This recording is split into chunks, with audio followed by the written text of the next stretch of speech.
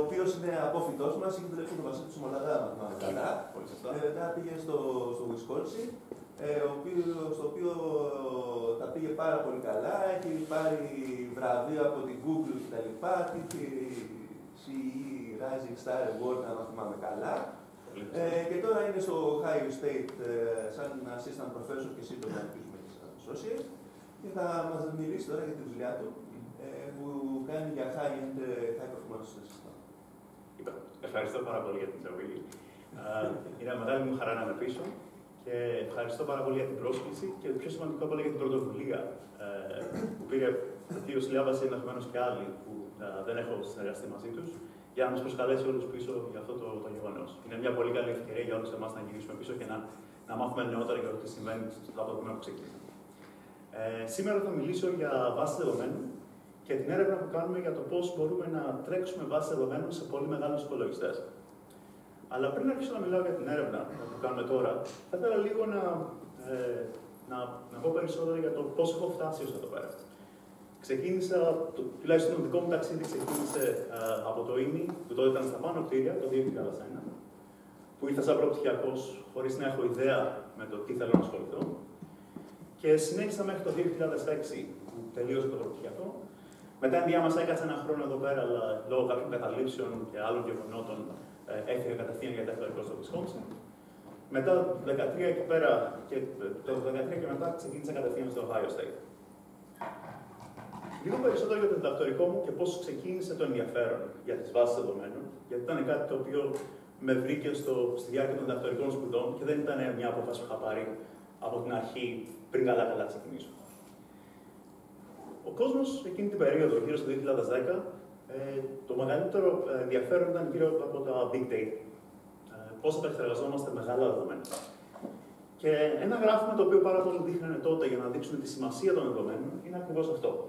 Ότι όπως βλέπετε αριστερά, η τυπική εταιρεία έχει 10 φορές παραπάνω δεδομένα από ό,τι έχει το Library of Congress, που είναι αυτή η βιβλιοθήκη η οποία συλλέγει όλη την πληροφορία που έχει δημοσιευθεί στην Αμερική ε, τα τελευ... από, από την ίδρυση ε, του Αμερικανικού κράτους. Οπότε η, η, το, η, εδώ πέρα το observation ήταν ότι υπάρχουν πολύ περισσότερα δεδομένα σε κάθε εταιρεία από, και, από το πώς, θέλουμε να επεξεργαστούμε γρήγορα. Και τα, τα, δύο, τα, τα δύο βασικά trends τα οποία μας ενδιαφέρανε ήταν ότι το κόστος ανά gigabyte μειώνεται συνεχώς, γιατί το να αποθηκεύεις δεδομένα γίνεται το ένα και φθηνότερο, αλλά η ταχύτητα με την οποία μπορείς να τα διαβάσεις μένει περίπου σταθερή. Οπότε το πρόβλημα είναι αν μπορούμε να, προσα... να επεξεργαστούμε τα δεδομένα αρκετά γρήγορα, έτσι ώστε να δώσουμε τις απαντήσεις που χρειάζονται. Και συγκεκριμένα, άμα δούμε ακριβώς τι σημαίνει big data, βλέπουμε ότι υπάρχει ένα ολόκληρο οικοσύστημα δεδομένων. Ξεκινάει από τεράστια, α, τεράστια datasets, τα οποία δεν τα, δεν, δεν, δεν, τα access που κάνουμε δεν είναι συχνά, Αυτά είναι κρύα δεδομένα. Και φτάνουμε στην κορυφή της πυραμίδας που έχουμε συνήθως μικρότερα datasets, τα οποία τα, τα, τα επεξεργαζόμαστε πολύ πιο συχνά. Αν θέλετε παραδείγματα, να έχουμε παράδειγμα βιοετικά δεδομένα, τα οποία κυρίως τα διαβάζουμε για να πάρουμε αποφάσεις. Αυτά είναι στο βάθος της πυραμίδας. Στην κορυφή είναι πράγματα όπως ε, συναλλαγές στο χρηματιστήριο, οι οποίες γίνονται σε milliseconds, αλλά αφορούν πολύ λίγα σύμβολα. Ε, transaction processing, όπως για παράδειγμα, αν κάποιος αγοράσει κάτι και το πληρώσει με την κάρτα του. Αυτό είναι μια συναλλαγή η οποία πάει ακριβώς στην κορυφή της πυραμίδας. Τι είχαμε δει τότε, ε, βλέποντας την τιμή της μνήμης, υπάρχει ένα ξεκάθαρο trend.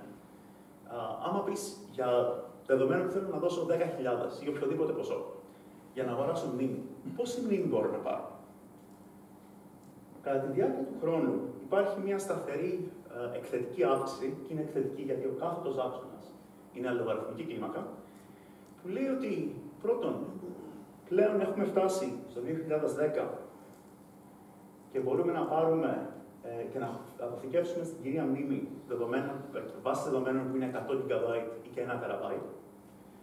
Και αν αυτό συνεχίσει, βλέπουμε ότι κάθε 5 χρόνια μπορούμε στην ουσία με τα ίδια λεφτά να, να αποθηκεύουμε δεδομένα που είναι 10 φορές μεγαλύτερα. Και άμα δείτε πώς, πώς να και σήμερα ε, ένα server, ε, πώς είναι το hardware, θα δείτε ότι έχει μια διάταξη που είναι παρόμοια με αυτή. Βλέπουμε ότι έχουμε πολλά sockets, το καθένα έχει ξεχωριστή μνήμη και φυσικά μιλάμε πλέον για multi-core και many-core servers. Το καθένα έχει πάρα πολλά, πάρα πολλά CPUs, τα οποία πρέπει να προγραμματίσουμε ξεχωριστά. Το infrastructure, λοιπόν, το big data και η δουλειά που είχα κάνει, κοιτούσε σε όλο αυτό το φάσμα ε, των δεδομένων. Ξεκινώντας από petabytes, στον πάτο της πυραμίδας, μέχρι μερικά gigabytes στην κορυφή. Στον πάτο κοιτούσαμε πιο πολύ uh, uh, uh, runtimes όπως το MapReduce, στο οποίο θα επανέλθω. Ε, Καθώς ανεβαίναμε προς τα πάνω, κοιτούσαμε πιο πολύ προβλήματα που ήταν παραδοσιακά προβλήματα βάσεων δεδομένων, όπως transaction processing και query processing. Η κύριος δουλειά μου στο PhD είχε, είχε να κάνει με το, με το πόσο επεξεργαζόμαστε uh, joins, uh, in particular σε MapReduce, σε multicores, πώς συγκρίνουμε short και hash uh, based joins. Και η άλλη δουλειά είχε να κάνει σχέση με το transaction processing. Και συγκεκριμένα αυτό το σύστημα που τελικά γίνεται commercialized στη Microsoft uh, λέγεται Hackathon. Και καθώς συζητούσαμε χθες, ένα από τα ερωτήματα που τέθηκε ήταν ε, τι ακριβώς προσφέρει ε, το να είσαι διδακτορικός φοιτητής στην Αμερική. Και υπήρχε, ήταν, υπήρχε επισήμανση ότι ε, μπορεί να κάνεις πάρα πολύ καλή δουλειά και στην Ελλάδα. Και αυτό ασφαλώς ισχύει. Η μεγάλη διαφορά που, που είδα εγώ κάνοντας το διδακτορικό στην Αμερική ήταν ότι σου δίνει ένα τρομερό, ε, τρομερό incentive να έχει να, η έρευνά σου να την κάνεις στην εποχή ακριβώς που το industry ασχολείται με ακριβώς το ίδιο θέμα. Και για παράδειγμα, αναφέρω αυτή τη δουλειά που κάναμε με το MapReduce, στην οποία εγώ ξεκίνησα να κάνω αυτή τη δουλειά σε συνεργασία με ανθρώπους στο industry το 2007. Τότε που ακόμη, άμα κοιτάξετε στο DVLP πόσα papers υπάρχουν και έχουν γραφτεί για το MapReduce, η ιδέα δεν είχε καν ξεκινήσει να είναι διάσημη. Υπήρχε πολύ, πολύ buzz και τόρος για αυτό το τι είναι αυτό το MapReduce και πολλές διαφωνίες για το αν αυτό το σύστημα χρειάζεται ή όχι, αλλά η δουλειά δεν είχε, δεν είχε ήδη γίνει. Και όσο εμείς δουλεύαμε, άρχισαν να βγαίνουν τα πρώτα papers και δημοσιεύσαμε τη δουλειά του 2010 και μετά όλοι οι υπόλοιποι, ε, το community άρχισε να προσέχει περισσότερο αυτό το σύστημα. Αυτό νομίζω είναι ένα από τα, από τα μοναδικά χαρακτηριστικά που σου δίνει, ε, που, αυτό είναι στην ουσία το, το πλεονέκτημα της μεγάλη πλατφόρμας. Ε, και συγκεκριμένα το να είσαι σε ένα μεγάλο πανεπιστήμιο στην Αμερική σου δίνει τη δυνατότητα να μιλάς απευθείας με ανθρώπους που βλέπουν τα προβλήματα και σου, σου δείχνουν το πρόβλημα ότι είναι κάτι το οποίο ενδεχομένως σε λίγα χρόνια να, είναι πολύ μεγαλύτερο από αυτό που είναι τώρα. Ε, οπότε δεν νομίζω ότι είναι θέμα μόνο της ποιότητας της δουλειάς, που σίγουρα είναι ένα μέρος της έρευνας, αλλά και το timing είναι εξίσου σημαντικό. Και το timing νομίζω είναι από τα μεγαλύτερα πράγματα που σου δίνει, σε σχέση με αυτό τουλάχιστον που είχα ζήσει εγώ και έβλεπα στην Ελλάδα.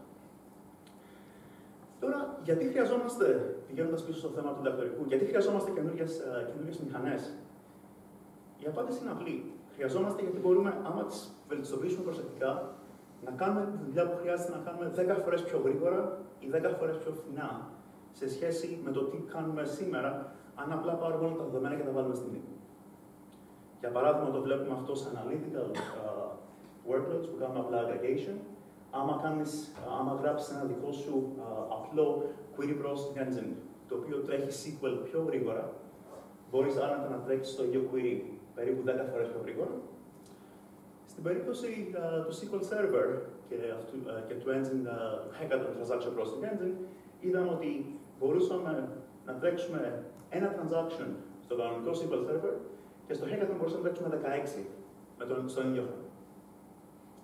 Αυτή είναι η διαφορά με το απλά να βάλεις όλα αυτά τα δεδομένα στην μνήμη σε σχέση με το να, να, να, να φτιάξεις ένα συγκεκριμένο kernel ο οποίο είναι βελτιστοποιημένος για εκείνη μνήμη. Και όπως ανέφερα ήδη, αυτό, αυτή τη δουλειά τελικά η Microsoft uh, επένδυσε και την έκανε uh, και έγινε προϊόν. Uh, εγώ έκανα πολύ λίγο, uh, πολύ λίγη δουλειά στο προϊόν, έκανα και κυρίως την έρευνα. Ε, το, 2010, το 2014 το Hackathon πλέον είναι μέρος του SQL Server. Οπότε, αν χρησιμοποιείτε SQL Server και χρησιμοποιείτε τα in-memory transactions, χρησιμοποιείτε το Hackathon που ήταν η δουλειά που ξεκίνησε, που ξεκίνησα εγώ στο διδακτορικό.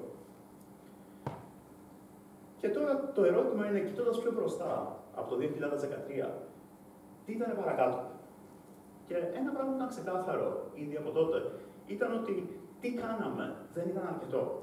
Με την έννοια ότι, αν κοιτάξουμε σε αυτό το γράφο, πόσο γρήγορα, πόσο αυξάνεται η επίδοση των, των επεξεργαστών ενός CPU μόνο, βλέπουμε ότι υπάρχει ένα, ένα σημείο καμπής γύρω στο 2004-2005 τότε ακριβώ που βγήκαν τα multicores, στο οποίο η επίδοση σταματάει να αυξάνεται με τον ίδιο ρυθμό. Και ποιο είναι το πρόβλημα, κοιτώντας και κάνοντας extrapolate γραμμικά, το οποίο είναι συζητήσιμο αν, αν γίνεται, βλέπουμε ότι δεν, αυτό από μόνο του δεν αρκεί για να δεν αρκεί αυτή η αύξηση για να ισοσταθμίσει την αύξηση των δεδομένων που περιμένουμε. Οπότε, το, οπότε η διαφορά του πόσα περισσότερα δεδομένα περιμένουμε και πόσα δεδομένα μπορούμε να επεξεργαστούμε συνεχίζει να μεγαλώνει. Οπότε, πηγαίνοντας στο Ohio State, αυτό που ξεκίνησα, ξεκίνησα να βλέπω το άλλο μέρος του data processing που είναι πώς κάνουμε scale αυτά τα συστήματα. Η δουλειά που κάνει ο Σότι κοιτούσε κυρίως συστήματα που μένανε σε ένα υπολογιστή πλέον ξεκίνησα να κοιτάω περισσότερο συστήματα τα οποία δουλεύουν σε πολλούς υπολογιστές. Γιατί είναι το μόνο, ε, η, η μόνη λύση την οποία μπορούμε εύκολα να κάνουμε για να μπορέσουμε πραγματικά να εξετάσουμε πολύ περισσότερα δεδομένα. Η παραδοσιακή δουλειά σε βάση δεδομένων μιλάει κυρίως για, ακόμη και σε παράλληλες βάσεις δεδομένων, μετράει κυρίως συστήματα που έχουν ενδεχομένως μέχρι χίλια CPUs. Το ερώτημα είναι τι ακριβώς συμβαίνει όταν μιλάς για δεκάδες χιλιάδες, εκατοντάδες χιλιάδες, εκατομμύρια CPUs. Όταν φτάσουμε σε αυτό το σημείο, μιλάμε πλέον για warehouse scale computing. Μιλάμε για ένα ολόκληρο data center, το οποίο τρέχουμε ένα query σε ολόκληρο το data center και προσπαθούμε να το τρέξουμε όσο πιο γρήγορα γίνεται. Άμα είσαι σε πανεπιστήμιο, ο πιο εύκολος τρόπος να έχεις πρόσβαση σε τέτοιους πόρους είναι να μιλήσεις με κάποιο ερευνητικό κέντρο, που στην Αμερική υπάρχουν πολλά, το οποίο έχει, ε, έχει αυτούς τους υπολογιστές. Ε, υπάρχουν national labs, ε, supercomputers και supercomputing centers που μπορούν να σου δώσουν πρόσβαση σε τέτοιους πόρους. Το ερώτημα είναι, τι κάνουν οι χρήστες για να διαχειριστούν δεδομένα όταν έχουν τέτοιους υπολογιστές; Το 2014 πήγα στο Lawrence Berkeley National Lab, που έχει τον υπολογιστή που, που δείχνω. Uh, είναι, το σύστημα λέγεται Nurse Corey. Όταν ήμουν εκεί πέρα ήταν το top 3 uh, supercomputing uh, σύστημα σε όλο τον κόσμο. Και αυτό που είδα ήταν ότι κανένας δεν χρησιμοποιεί βάση δεδομένων.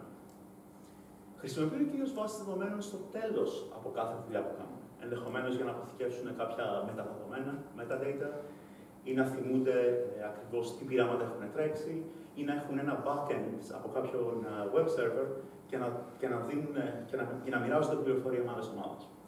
Αλλά στην ουσία δεν υπάρχει άλλη χρήση βάσεων δεδομένων πέραν του να κάνουν manage metadata, που είναι σχετικά μικρά σε σχέση με τα δεδομένα που επεξεργάζονται συνήθως. Σε αντίθεση, τα δεδομένα που επεξεργάζονται εκτός της βάσης είναι πολύ μεγαλύτερη. Οπότε, όταν μιλάμε για αυτά τα πολύ μεγάλα συστήματα τα, και, παραλ, και όταν ο παραλληλισμό φτάνει σε δεκάδες χιλιάδες uh, CPUs, αυτό που βλέπουμε είναι ότι οι χρήστες κάνουν data management στην ουσία χωρίς να χρησιμοποιούν database systems. Τι κάνουν, τρέχουν δικό τους κώδικα για να αναλύσουν δεδομένα. Χρησιμοποιούν MPI, γράφουν C, C++, παραλφόρτων κάποιες φορές για να κάνουν simulation και να αναλύσουν τα δεδομένα όπως σου βολεύουν. Οπότε σήμερα, ε, και τι ακριβώς τι ακριβώς τους ενδιαφέρει, η απάντηση είναι ότι τους ενδιαφέρουν κυρίως δύο πράγματα.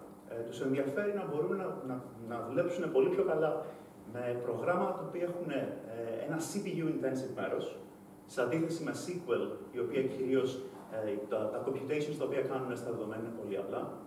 Και τους ενδιαφέρει το δεύτερο μέρος να μπορούν να κάνουν οποιοδήποτε ανάλυση με έναν τρόπο ο οποίος χρησιμοποιεί το hardware και επίσης μπορεί να, να παραγωνιστεί πολύ καλά σε δεκάδες χιλιάδες CPUs. Παραδείγματα τα οποία είναι πολύ ενδιαφέροντα σαν uh, workloads, τα οποία όπως δείτε δεν έχουν σχέση με SQL όπως έχουμε συνηθίσει, είναι για παράδειγμα ένα pipeline το οποίο βρίσκει uh, supernova στον ουρανό Έχουμε δουλεύουμε με, κάποια, με, με το MODIS, που είναι ένα μεγάλο ερευνητικό πρόγραμμα το οποίο προσπαθεί από δορυφορικά δεδομένα να ειδοποιήσει αιστείες φωτιάς ή κινδύνων και να ειδοποιήσει ε, τοπικά τους first responders για να πάνε στο σημείο. Μιλάμε για ανάλυση δεδομένων τα οποία έρχονται από simulation. Έχουμε ένα παράδειγμα από plasma physics, στο οποίο ένα simulation run δημιουργεί 50 terabyte δεδομένων που πρέπει όλα να αναλυθούν. Μιλάμε για computational neuroscience, το οποίο νομίζω ακούσαμε περισσότερα χθες και το τι ενδιαφέρουσες προοπτικές έχει ε, για, για βάση δεδομένων. Στην άλλη πλευρά, μιλάμε για πραγματικά τεράστιο I.O. concurrency. Μιλάμε για δίσκους οι οποίοι έχουν 10.000. Ε, μιλάμε για παράλληλα uh, file systems, τα οποία έχουν 10.000 δίσκους ή και παραπάνω, πώς μπορείς να τρέξεις ένα query ε, σε ένα τέτοιο παράλληλο ε, file system. Μιλάμε για many core CPUs, είναι CPUs τα οποία έχουν 80, 100 cores, που δεν ξέρουμε ακριβώς πώς θα χρησιμοποιήσουμε. Μιλάμε για δίκτυα τα οποία είναι γρήγορα και, και έχουν υποστήριξη για RDMA. Είναι αυτό το feature το οποίο μπορείς απευθείας να ακουμπήσεις μνήμη που δεν ανήκει στο δικό σου υπολογιστή, αλλά σε κάποιον άλλο στο δίκτυο. Μιλάμε για ενδιαφέροντα topologies, το οποίο έχει και θεωρητικές παρεκτάσει. Ε, ενδιαφέροντα topologies του, του δικτύου, το οποίο σημαίνει ότι ενδεχομένως πρέπει να, κάνουμε, πρέπει να λύνουμε τα δεδομένα μας με διαφορετικό τρόπο. Σήμερα θα μιλήσω ε, στην επόμενη μισή ώρα γρήγορα για τρία θέματα μόνο και μπορώ να επεκταθώ σε περισσότερα αν με ενδιαφέρεις σε, σε συνομιλίες μετά, μετά το τέλος της διάλεξης. Θα μιλήσω για ένα ενδιαφέρον pipeline το οποίο βρίσκει αυτά τα supernovas καθώς το φαινόμενο συμβαίνει ε, στην αρχή. Μετά θα μιλήσω για δουλειά που έχουμε κάνει, για το, η οποία χρησιμοποιεί το δίκτυο πιο προσεκτικά. Και τέλος θα αναφερθώ για αλγορίθμους που χρησιμοποιούν το topology ε, και τι μπορούμε να κάνουμε εκεί πέρα. Λοιπόν, ξεκινώντας από το πρώτο, τώρα θα παρουσιάσω την πρώτη δουλειά που έχουμε κάνει, Array Bridge. την παρουσιάσαμε στο ICD νωρίτερα φέτος, στο Παρίσι. Η ιδέα εκεί πέρα είναι ότι μπορούμε να έχουμε ένα module το οποίο μπαίνει ανάμεσα από μία βάση δεδομένων όπως η SideB και τα αρχεία τα οποία οι περισσότεροι χρήστες χρησιμοποιούν σαν, σαν storage method. Μετά θα μιλήσω για αυτή την, την ιδέα ότι μπορούμε να χρησιμοποιήσουμε ε, κατευθείαν RDMA capabilities αντί για MPI για να κάνουμε ανάλυση δεδομένων πολύ πιο γρήγορα. Και στο τέλος θα δείξω έναν, έναν αλγόριθμο που κάνει aggregation ε, όταν, ε, και δουλεύει πάρα πολύ καλά όταν το group by domain έχει πάρα πολλά key. Και θα μιλήσω και για αυτό στο τέλος. Ξεκινώντας από το application, ε, που είναι ένα παράδειγμα για το τι, τι, τι είδους ε, ανάγκες έχουν οι χρήστες τις οποίες μια παραδοσιακή βάση δεδομένων δεν μπορεί να καλύψει. Ένα παράδειγμα είναι ε, αυτό το Supernova Detection. Αυτό είναι ένα πείραμα το οποίο τρέχει στο Ohio State και σε πολλά άλλα μέρη στην Αμερική. Βλέπετε εδώ πέρα ένα μικρό τηλεσκόπιο, το οποίο πιο πολύ φαίνεται σαν μια επαγγελματική κάμερα. Υπάρχει ένας ακριβώς uh, SLR uh, CCD sensor και μπροστά βλέπετε υπάρχει ένας φακός ο οποίος είναι, αρκετά, είναι πολύ ευρύς. Σε αντίθεση με τα τηλεσκόπια τα οποία βλέπουν πολύ, πολύ βαθιά για, για αυτού του είδους την εφαρμογή χρειάζεται μεγάλο εύρο, όχι πάρα πολύ βάθος. Οπότε τα τηλεσκόπια που έχουν φαίνονται πολύ διαφορετικά από ό,τι έχουμε συνηθίσει. Τα δεδομένα που έρχονται από αυτό το, από αυτό το sensor φαίνονται κάπως έτσι. Εδώ πέρα βλέπουμε διαφορετικά αστέρια στον ουρανό. Άμα έχετε απορία τι είναι αυτό το, το μαύρο τάιλο εδώ πέρα, είναι απλά ένα σύστημα το οποίο κάηκε. Και ούτε αυτοί οι επιστήμονες είχαν χρήματα να, να, να, βάλουν κάποιο άλλο στη θέση του. Οπότε το funding ε, μπορώ να σα βεβαιώσω ότι κόβεται σε όλα τα σημεία του πλανήτη και επηρεάζει ακόμη και τους επιστήμονες που κάνουν ε, astrophysics, όχι μόνο computer science. Ε. Συνεχίζοντας, τι πρέπει να κάνουμε; Ε, πρέπει να κοιτάξουμε μετά αυτές τις φωτογραφίες του ουρανού, τις έχουν πάρει σε διαφορετικά ε, χρονικά σημεία και να δούμε τι, τι υπάρχει το οποίο είναι κοινό. Ψάχνουμε για σημεία του ουρανού τα οποία μπορούν να κάνουν map το ένα στο άλλο και μας ενδιαφέρει, παράδειγμα, μια περιοχή όπως αυτή με το πράσινο, ε, το πράσινο κουτάκι. Γιατί μας ενδιαφέρει; Το πιο φυσικό συστατικό για να δούμε αν κάτι αλλάζει είναι να τρέξουμε, να, να δούμε τη διαφορά των δύο εικόνων. Τι έχει αλλάξει από τη στιγμή που πήραμε την πρώτη εικόνα και τη δεύτερη. Για παράδειγμα, εδώ πέρα βλέπουμε μια εικόνα η οποία εκ πρώτης όψεως φαίνεται ότι είναι η ίδια. Κοιτώντας όμως τη διαφορά της, μπορούμε ξεκάθαρα να δούμε ότι υπάρχει κάτι εδώ πέρα στη μέση, το οποίο γίνεται το ένα και φωτεινότερο. Και αυτό ακριβώς τα, αυτό ακριβώς τα, τα γεγονότα είναι αυτό που ενδιαφέρουν τους επιστήμονες να δουν περισσότερο. Στο τέλος, αφού μαζέψουμε όλες αυτές τις διαφορές εικόνων, πρέπει να τρέξουμε ένα classifier για να αποφασίσουμε αν όλα αυτά τα αντικείμενα που βλέπουμε εδώ πέρα είναι πραγματικά supernovas ή είναι κάποιο άλλο φαινόμενο. Για παράδειγμα, νομίζω αυτό είναι ένα πραγματικό supernova explosion, αυτό είναι μάλλον κάποιο αεροπλάνο ή κάποιο δορυφόρο, το οποίο απλά πέρασε πάνω από την κάμερα την, την ώρα που, είχε, την ώρα που έφτασε στη φωτογραφία. Οπότε το ένα είναι κάτι που μας ενδιαφέρει και το κρατάμε, το άλλο είναι κάτι που πρέπει να πετάξουμε. Και αν αυτό γίνει καλά, βλέπουμε εδώ πέρα, σε real time, όπως το πέρανε τότε, τι γίνεται. Άμα κοιτάξετε αυτό το σημείο, βλέπετε ότι σιγά σιγά υπάρχει ένα αστέρι το οποίο μεγαλώνει σε λαμπρότυπο. Και για παράδειγμα, αυτές ακριβώς οι φωτογραφίες ήταν ε, ε, το, το πέμπτο ε, μεγαλύτερο supernova που είχε, που είχε ποτέ, ε, που είχαμε ποτέ δει μέχρι τότε. Και αυτό έγινε, και αυτό το βρήκαμε τόσο γρήγορα, γιατί ακριβώς αυτό το πείραμα κυκλούσε συνεχώς αυτό το σημείο. Και αφού το βρούμε, μετά μπορούμε να κάνουμε follow observations με πολύ δυνατότερα τηλεσκόπια. Το φαινόμενο που ρωτήσαμε να αναφέρεται σε αυτό, αυτό ακριβώς το άστρο. Οπότε αυτό είναι ένα παράδειγμα από μια εφαρμογή η οποία δεν κάνει map με έναν φυσικό τρόπο σε παραδοσιακές βάσεις δεδομένων με πίνακες και SQL. Αντίθετα, οι επιστήμονες χρησιμοποιούν formats. Ε, βασικά, αυτά είναι απλά αρχεία. Πώς ακριβώς έχεις αρχεία τα οποία χωρίζεις τι τιμές με κόμμα, ή έχεις ενδεχομένως ε, αρχεία όπως είναι το JSON format ή XML format. Οι επιστήμονες χρησιμοποιούν κυρίως ε, αρχεία που έχουν το HDFI πρωτότυπο. Αν έχετε ακούσει για το NetCDF, που είναι ένα άλλο πρωτότυπο, χρησιμοποιεί το HDF5 σαν storage mechanism underneath αυτό το API. Ε, τι είναι το HDF5, μπορείτε να σκεφτείτε ότι είναι ένα zip file. Πώς ακριβώς έχετε ένα zip file που έχει πολλά περισσότερα αρχεία, είναι ένα zip file για, για επιστημονικά δεδομένα. Η ιδέα είναι ότι πλέον, αφού, αφού έχεις τα δεδομένα σου σε τέτοια αρχεία, όλο το query pipeline πλέον γίνεται ένα file-centric pipeline. Δεν υπάρχει βάση δεδομένων πουθενά. Και για να κάνουν απλά πράγματα όπως αυτό το classification algorithm που σας έδειξα, θα αποθηκεύσουν τα δεδομένα, θα τα διαβάσουν, θα τα ξαναποθηκεύσουν. Θα τα ξαναδιαβάσουν, θα τα ξαναποθηκεύσουν. Και πάλι λέγοντα. Οπότε βλέπεις αυτό το, το, το back and forth, το μπρο-πίσω μεταξύ του παράλληλου, α, του παράλληλου file system και του μεγάλου υπολογιστή. Το οποίο παίρνει πάρα, πάρα πολύ χρόνο.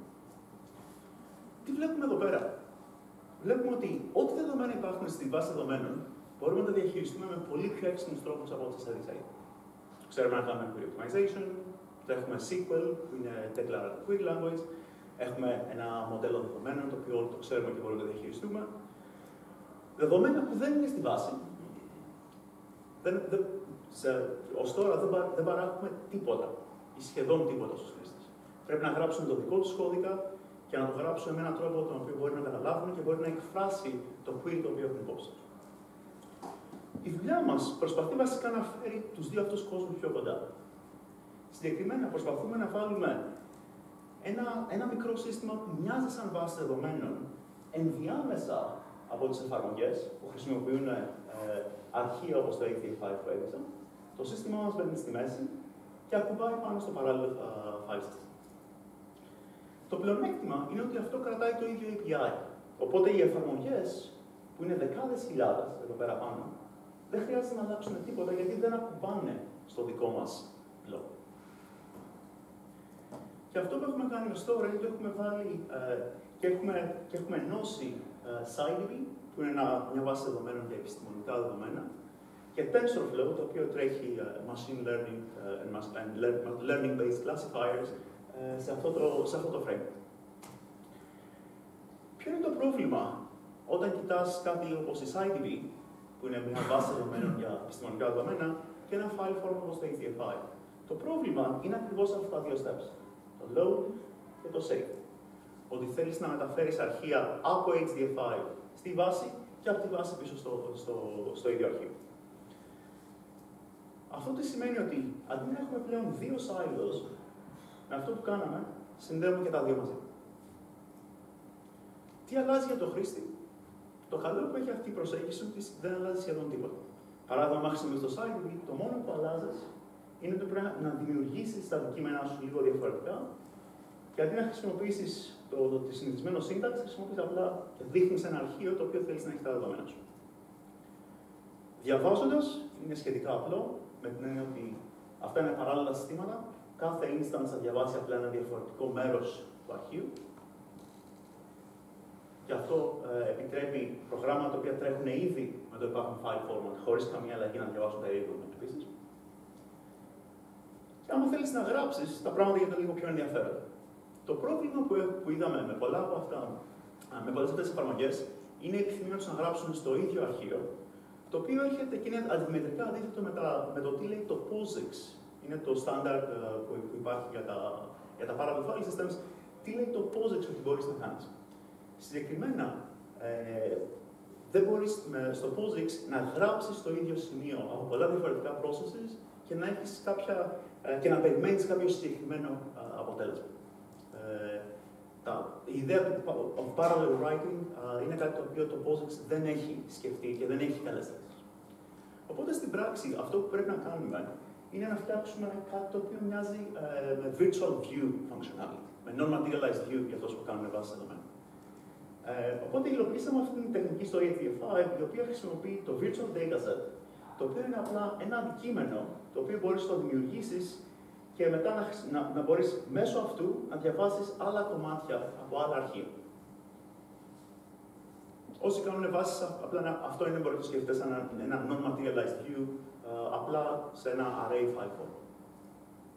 Ποια είναι η ιδέα λοιπόν, πώς μπορούμε να ξεπεράσουμε αυτό το πρόβλημα ότι ε, μπορούν, θα χρειάζεται πολλοί να γράψουν στο ίδιο αρχείο; Μπορούμε να δημιουργήσουμε διαφορετικά αρχεία, να κάνουμε partition στην ουσία το write set, και αφού κάνουμε partition το write set, μετά μπορούμε τώρα να χρησιμοποιήσουμε αυτό το view mechanism για να αναδημιουργήσει το αρχείο όπως θα φαινόταν άμα το είχε γράψει ένας, ένας processor συριακά. Και αυτή είναι η κυρίως ιδέα τώρα. Πόσο καλά δουλεύει αυτό το σύστημα και, όντως, αν όντως, και βοηθάει όντως τους επιστήμονες. Για να, το, για να απαντήσουμε σε αυτό το ερώτημα, πήγαμε πίσω στο ίδιο, στον ίδιο υπολογιστή. Ε, τα specifications ε, είναι στο slide. Και ξεκινώντας, ρωτήσαμε το απλό ερώτημα πόσο γρήγορα μπορούμε να διαβάσουμε δεδομένα μέσω αυτού του, α, αυτού του interface σε σχέση με το να διαβάζουμε π.χ. δεδομένα τα οποία η Scientific έχει αποθηκεύσει ήδη. Και προς μεγάλη μας έκπληξη, ε, ε, έκπληξη, είδαμε ότι η ταχύτητα με την οποία μπορούμε να διαβάζουμε δεδομένα είναι σχεδόν ίδια με τη Scientific. Τουλάχιστον ίδια ε, με την ότι δεν μπορούμε να δούμε κάποιο statistical significance. Συνολικά βλέπουμε throughput είναι περίπου 30 GB per second από το parallel file system το οποίο δεδομένου του πόσο μικρού uh, job τρέχαμε, είναι, είναι, uh, είναι πολύ καλό Πόσο γρήγορα μπορούμε να γράψουμε; Ε, και εδώ πέρα τα πράγματα που είναι ενδιαφέροντα. Θυμηθείτε αυτή την, α, αυτό το πρόβλημα ότι δεν μπορούμε να γράψουμε πολύ στο ίδιο αρχείο εύκολα, στο APFI. Αυτό που σημαίνει εδώ πέρα είναι ότι καθώς το, το dataset σου μεγαλώνει και χρειάζεται περισσότερους κόμπου, αντί να βλέπεις την ταχύτητα του parallel write να προχωράει ευθεία, HDF5, που είναι το αρχικό πρόβλημα, βλέπεις ότι αυτό διπλασιάζεται κάθε φορά που το dataset σου διπλασιάζεται. Αυτό είναι γιατί ενώ έχεις πολλούς κόμβους, μόνο ένας μπορεί να γράφει κάθε φορά. Με την τεχνική που, που εμείς υλοποιήσαμε, βλέπουμε ότι η ταχύτητα με την οποία ε, βασικά μειώνεται το throughput, το write throughput, είναι πολύ πολύ μικρότερη. Και αν κοιτάξουμε τα δεδομένα λίγο πιο προσεκτικά, βλέπουμε ότι η διαφορά εξηγείται μόνο και μόνο ε, με τον χρόνο που χρειάζεται για να δημιουργήσεις αυτό το view στο τέλος. Αυτή είναι η διαφορά. Στο προηγούμενο slide, όταν αύξησε τον αριθμό των nodes πάνω από ένα σημείο, ήταν ότι μειωνόταν. Γιατί; Αυτό είναι πολύ ενδιαφέρον. Ε, αυτή τη δουλειά την κάναμε με ανθρώπους από το, το Paradigm 4 που, έχουν, που υποστηρίζουν το site. Η απάντηση που μας παραξένευσε ήταν ότι δεν είχε χρησιμοποιήσει μέχρι τότε ούτε ένας χρήστης στο σύστημά τους σε παραπάνω από 32 nodes. Οπότε αυτό που συνέβαινε ήταν ότι υπήρχαν κάποια, υπήρχαν κάποια code paths τα οποία δεν είχαν τεσταριστεί ε, όπως θα θέλανε.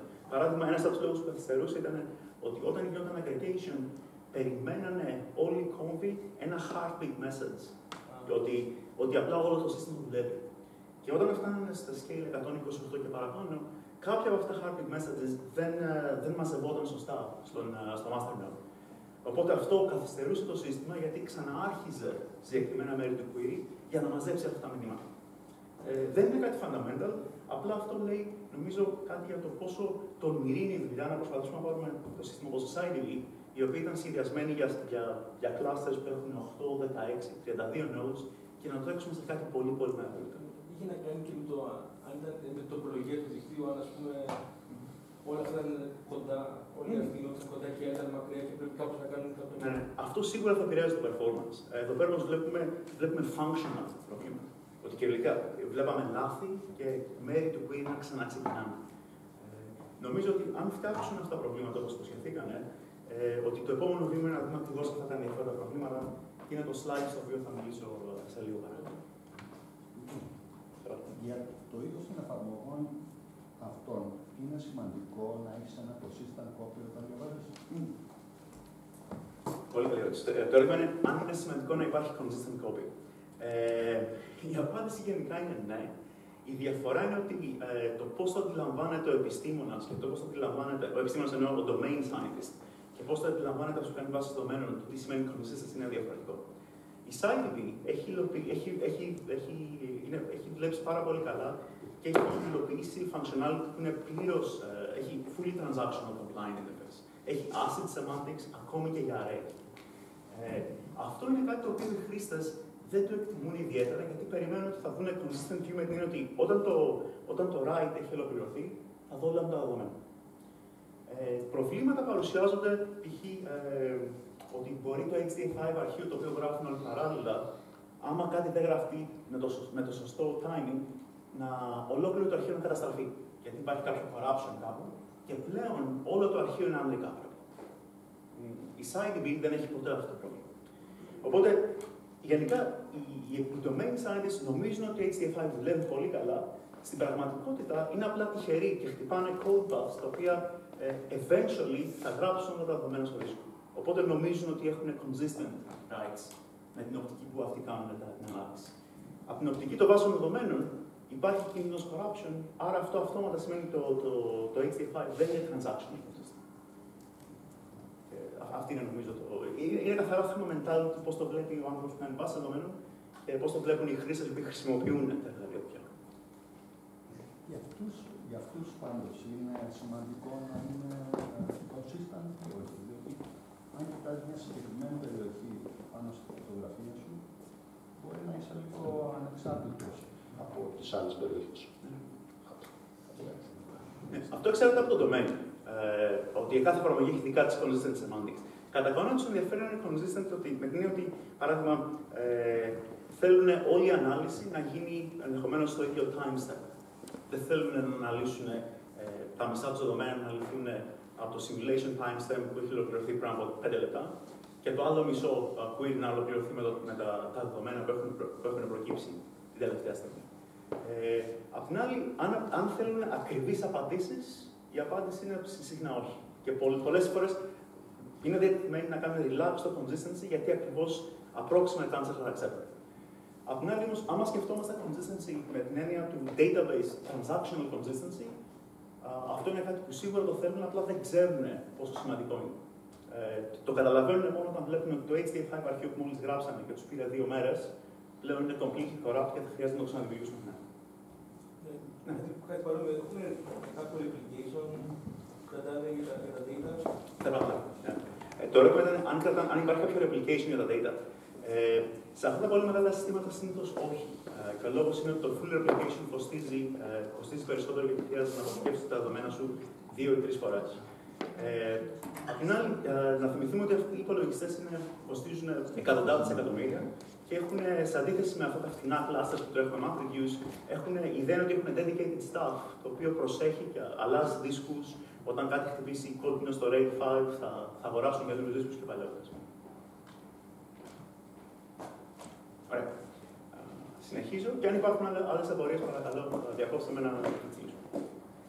Τι σημαίνει αυτό στην πράξη για τους επιστήμονες; Αυτό που σημαίνει ότι πλέον μπορούμε να τρέχουμε queries τα οποία έχουμε συνηθίσει σε SciDB ή σε SQL σε πολύ μεγαλύτερα δεδομένα. Για παράδειγμα, το VBIC είναι ε, ένα simulation για το plasma physics.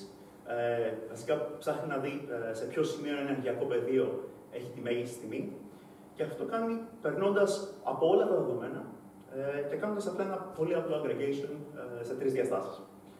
Το πρόβλημα είναι ξεκάθαρα το πόσα από τα δεδομένα υπάρχουν. Ένα, ε, ένα random simulator δημιουργεί 43 terabyte. Και αυτό είναι αφού κάνουν pre-filtering κάποια δεδομένα για να μην τα αποθηκεύσουν καθόλου.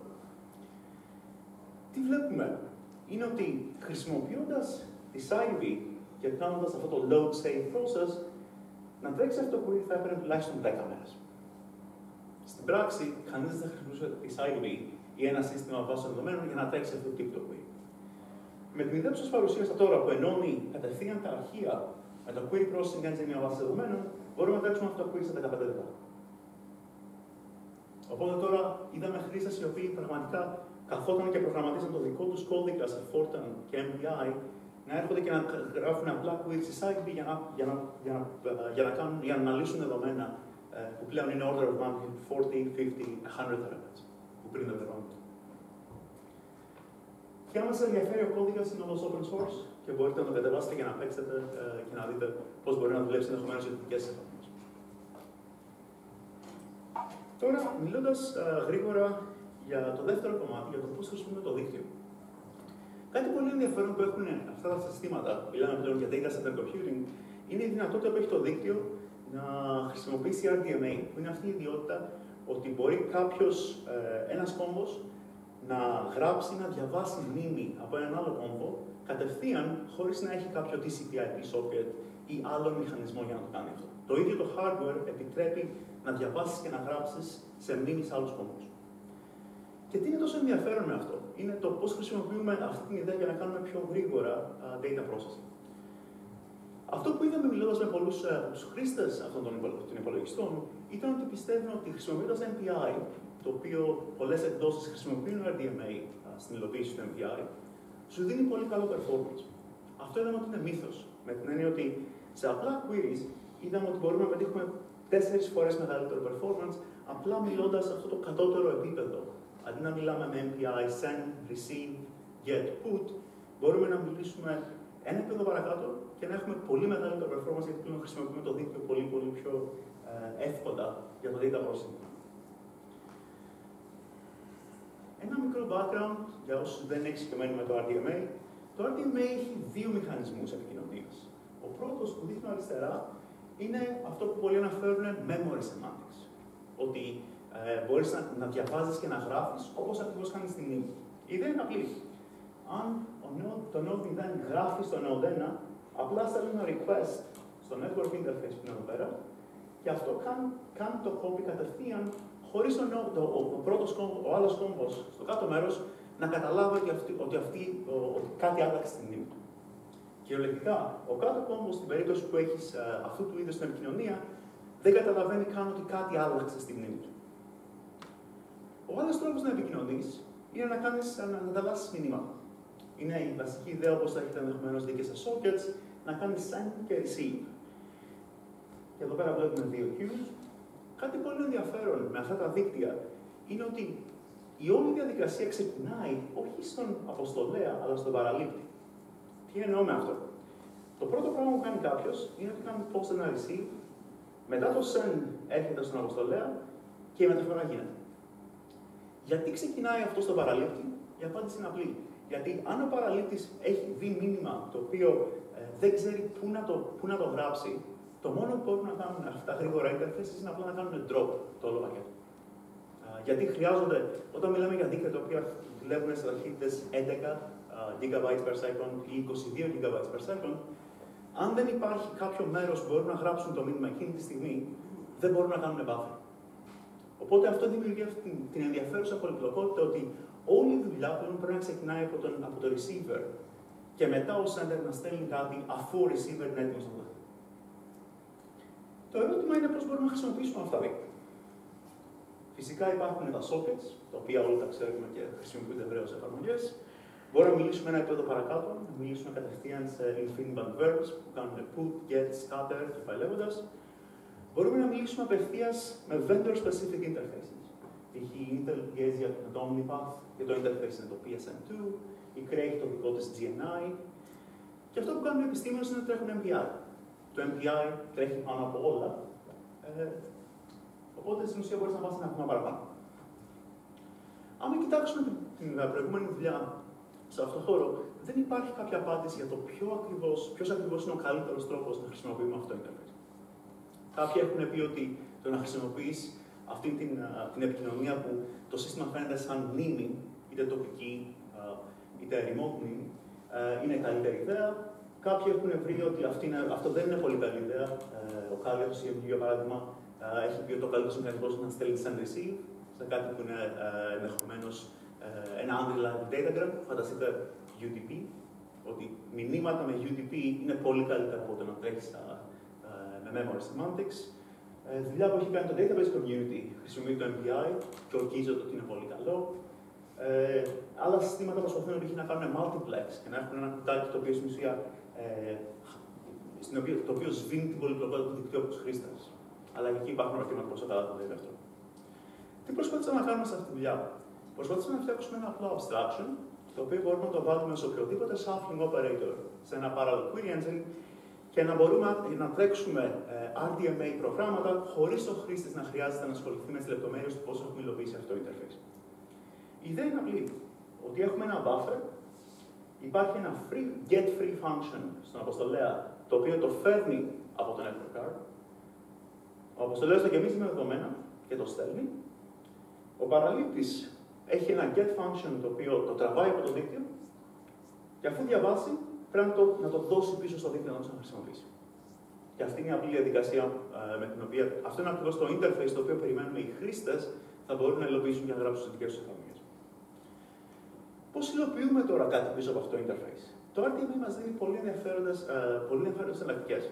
Μπορούμε να αλλάξουμε το transport, για παράδειγμα, αν στέλνουμε ε, μηνύματα και τρέχουμε, φανταστείτε, σαν κάτι που θυμίζει TCP, ή τρέχουμε κάτι το οποίο είναι unreliable και δεν χρειάζεται connections. Ε, είναι datagram-based protocol, κάτι σαν UDP. Δεύτερο ερώτημα είναι αν τρέχουμε σε memory semantic, κάνουμε read, write, ή τρέχουμε με messaging semantics, uh, send και receive. Και τρίτο ερώτημα είναι πόσα από αυτά τα endpoints που έδειξα χρειαζόμαστε. Χρειαζόμαστε ένα atom call, χρειαζόμαστε ένα socket, ένα CPU, ένα query, πόσα ακριβώς χρειαζόμαστε. Κοιτώντας προσεκτικά όλους αυτούς τους συνδυασμούς, κάποιος μπορεί να δει σχετικά εύκολα ότι δεν υπάρχει κάποιο συγκεκριμένο, κάποιος συγκεκριμένος συνδυασμός που είναι ξεκάθαρα καλύτερος από τους υπόλοιπους. Αυτό όμως που είδαμε είναι ότι κοιτώντας ε, κοιτώντας, ε, σε πιο πολύπλοκα queries, μπορούμε συγκεκριμένα χρησιμοποιώντας μηνύματα και unreliable datagrams και όταν έχουμε πολύπλοκα queries όπως το TPCH, να έχουμε performance το οποίο είναι σχεδόν όσο καλό είναι το performance του local processing. Και αυτό το δείχνω τρέχοντας uh, TBCH Query 4. Το performance όταν έχεις collocated joins, τα οποία δεν μεταφέρουν καθόλου δεδομένα στο δίκτυο, είναι σχεδόν το ίδιο με τη μαύρη βάρα, που είναι η δική μας υλοποίηση που χρησιμοποιεί RDMA uh, για, να, για να στέλνει τα δεδομένα στο δίκτυο. Το MPI τρέχει πολύ πιο αργά. Ε, γιατί το ίδιο το interface, ο τρόπος με τον οποίο ορίζει ορίζει τους μηχανισμούς της επικοινωνίας, δεν επιτρέπουν να κάνεις πλήρως overlap τους υπολογισμούς με το, το message pass. Και αυτό βλέπουμε σε όλα τα queries που τρέξαμε.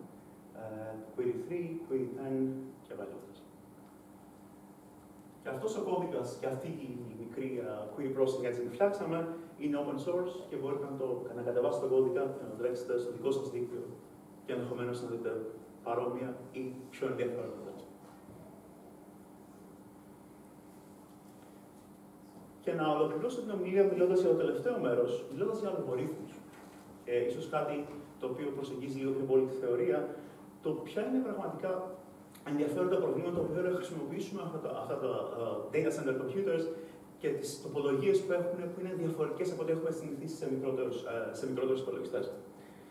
Η ιδέα είναι απλή ότι συνήθως μικρότερα συστήματα έχουν μια τοπολογία η οποία θυμίζει δέντρο έχεις ένα τοπικό top of the rack switch, το οποίο συνδέεται σε άλλο switch, το οποίο συνδέεται ε, στο βάθο. Το πρόβλημα είναι ότι καθώς η ταχύτητα αυξάνεται, αυτός ο κόμπο πλέον γίνεται ολοένα, πρέπει να στέλνει και να δέχεται ολοένα και περισσότερη πληροφορία. Σε μικρά clusters, όπως αυτό που έχουμε π.χ. Στο, στο, στο Systems Group στο Ohio State, αυτό το backbone switch είναι ένα ολόκληρο rack, το οποίο είναι πιο ψηλό από μένα, και, έχει, και όλο αυτό είναι ακριβώς υποδοχές για να βάλεις καλώδια, για να μπορείς να κάνεις switching, το οποίο θα σου δίνει full bisection, bisection map. Αυτός είναι ένα πολύ ακριβώ τρόπος να κάνεις scale το δίκτυό σου. Και επίσης έχει ένα μόνο σημείο, το οποίο αν κάτι πάει στραφά, το δίκτυο σου έχει κοπεί στα δύο. Αυτό που κάνει το industry και αυτοί οι πολύ ακριβοί υπολογιστές είναι ότι πλέον χρησιμοποιούν high radix topologies. Τι κάνουν, για οποιοδήποτε path βλέπετε στο switch και πάνω, προσπαθούν να το κάνουμε replicate, χρησιμοποιώντας περισσότερο network equipment. Για παράδειγμα, ξεκινώντας με την πάνω ακμή, μπορούμε να κάνουμε replicate αυτό, αυτή την ακμή χρησιμοποιώντας ακόμη ένα switch και ένα τρίτο switch. Πλέον, το bottleneck είναι αυτές οι άκμες. Και μπορούμε να κάνουμε replicate και αυτές. Έτσι, για οποιοδήποτε path θέλουμε να πάρουμε, υπάρχουν παραπάνω από ένα μονοπάτια στο δίκτυο για να μας φτάσουν στην άλλη πλευρά. Αυτό είναι ένα παράδειγμα of a high radius topology, νομίζω είναι close, το οποίο το μειονέκτημά του είναι ότι χρειάζεται πολύ περισσότερο network equipment. Αλλά είναι πολύ πιο εύκολος τρόπος να κάνει scale από το network πάνω. Ποιο είναι το πρόβλημα; Ακόμη και σε αυτά τα δίκτυα, εδώ πέρα δείχνω την ακριβή διάταξη που έχει ο υπολογιστής που χρησιμοποιήσαμε, που έχει τρία levels ακριβώς στο πρωτότυπο. Ακόμη και σε αυτά τα δίκτυα, το αγαπημένο μας pattern στις βάσεις δεδομένων, ο καθένας μιλάει με οποιοδήποτε άλλο, all to all, απλά δεν κάνει scale. Δείχνουν αποτελέσματα που ξεκινάνε με 500 cores και φτάνουμε σε 128.000. Και βλέπουμε ότι καθώς τρέχουμε με περισσότερα cores, ακριβώς το ίδιο query που στέλνει οπουδήποτε χρειάζεται στο δίκτυο, τρέχει όλο ένα και πιο αργά. Όταν φτάνουμε σε αυτό το scale, χρησιμοποιούμε αυτό το πανάκριβο δίκτυο για να τρέξει ακριβώς με το throughput που τρέχει το φθηνό Ethernet, το οποίο, α, το οποίο όλοι έχουμε στο PC Στο δίκτυο πάνω έχετε load balancing μηχανισμούς ή όχι; Το, το δίκτυο έχει, έχει load balancing. Ε, το ερώτημα ήταν αν το δίκτυο έχει load balancing μηχανισμούς. Ε, το δίκτυο έχει load balancing μηχανισμούς, αλλά το πρόβλημα εδώ πέρα είναι ότι σε αυτό το scale, στην ουσία στέλνεις, χρησιμοποιείς το δίκτυο ε, με έναν τρόπο ο οποίος δεν είναι καθόλου efficient. Πρέπει να στέλνεις πολύ μικρά μηνύματα σε έναν τυχαίο παραλήπτη. Γιατί άμα πραγματικά τα, τα δεδομένα σου είναι κατανεμμένα σε όλους τους κόμβους, η αναλογία των δεδομένων που θα στέλνεις στον κάθε ένα κόμβο μικραίνει καθώς το scale μεγαλώνει. Οπότε, ενώ σε 512 cores θα έστειλες μεγάλα μηνύματα με πολλά δεδομένα, όταν φτάνεις σε πολύ ψηλό scale, δεν υπάρχουν δεδομένα που πρέπει να φτάσουν σε αυτό το κόμβο. Και αναγκαστικά στέλνεις πολύ μικρά μηνύματα και χρησιμοποιείς το δίκτυό σου με ένα πολύ efficient uh, way. Uh, και αυτό είναι το, το, το μέρος του, του προβλήματος το οποίο είναι fundamentally difficult to solve.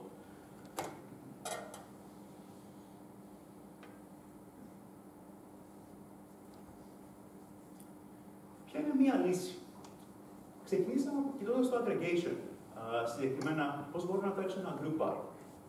Και μία ιδέα που είχαμε είναι ότι μπορούμε να, να χρησιμοποιήσουμε στην ουσία το topology και επίσης όχι μόνο κοιτώντας το σαν routing πρόβλημα, αλλά κοιτώντας το και σαν similarity πρόβλημα, να χρησιμοποιήσουμε, ε, να χρησιμοποιήσουμε ακριβώς την έννοια του similarity για να, για να διαλέξουμε paths στο δίκτυο, τα οποία δεν χρειάζεται πλέον να κάνουμε all-to-all communication.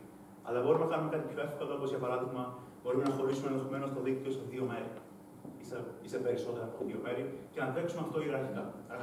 Locality, εντάξει, δηλαδή αν μπορείς να διαλέξεις μόνο κάτι που είναι κοντά, να μην κάνεις όλο το όλο, να κάνεις κάποιο clustering στο ίδιο, στο ίδιο cluster. Ναι, η, η, ιδέα η οποία δείχνει είναι ακριβώς αυτή ότι προσπαθούμε στην ουσία να εκμεταλλευτούμε locality αν τυχόν υπάρχει.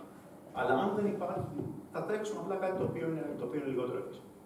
Αλλά η ιδέα είναι ακριβώς αυτή. Το motivation είναι πρέπει να δούμε το locality λίγο πιο προσεκτικά. Να δείξω ένα απλό παράδειγμα, το οποίο δεν έχει πολύ τοπολογία, αλλά φαντάζομαι ότι όλοι μπορείτε να καταλάβετε πώς μπορεί αυτή η τοπολογία να γίνει πολύ πιο πολύπλοκη και το πρόβλημα να γίνει πολύ πιο πολυδιάστατο. Σκεφτείτε ένα απλό δίκτυο το οποίο έχει ακριβώς τέσσερις κόμβους. Στη μέση είναι το switch το οποίο δεν το δείχνω. Θέλω να μαζέψω όλα τα δεδομένα στον κόμβο 1. Τα κλειδιά είναι α και β. Οι τιμές που θέλω να μαζέψω είναι το 1. Οπότε κάνοντας ένα απλό sum και group by, το αποτέλεσμα θα ήταν b1 a2 θα μάζευα όλα τα δεδομένα στο ένα.